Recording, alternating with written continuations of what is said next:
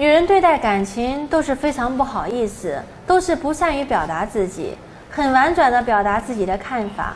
女人的这个特点对男人来说会让男人非常的痛苦，因为他们要不断的去猜测女人的意思，似乎只有这样，女人觉得这个男人有情调，觉得这样的恋爱比较浪漫。但很多时候，男人并不是猜得很准，因为不理解女人的意思，很多时候就会错过最佳机会。女人也会觉得你情商不够高，很多女人对待感情不够直接，喜欢半推半就。她们不但不喜欢直接表达自己的感情，也不喜欢男人太直接。但是男人会觉得很累。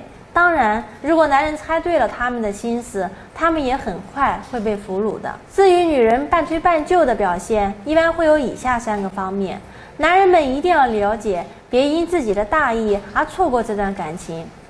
第一个表现，女人喜欢说不喜欢。女人一般都是口是心非的动物，嘴上说着不喜欢，心里想的就是喜欢。如果一个女人跟你说不喜欢，你千万不要当真。她说不喜欢，可能是不好意思说，并不是真的不喜欢。如果你真的当真了，那么女人会觉得很失望。你要抱着这样的心理，即使她不喜欢，自己也要去做。第二个表现。当他的身体被接触到的时候，他不反抗，而是默认了。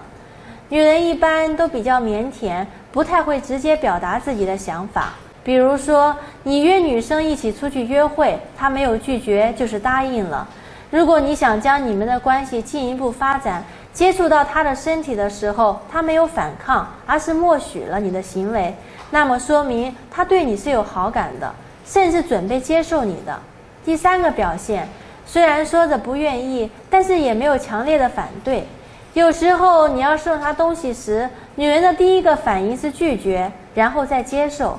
既然能体现了自己的矜持，又得到了礼物，还能让男人留一个好的印象。